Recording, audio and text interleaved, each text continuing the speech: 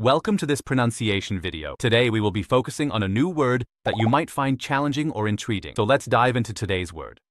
Bo, which means, Educated in Chinese. let's say it all together. Bo, bo, bo. One more time. Bo, bo, bo.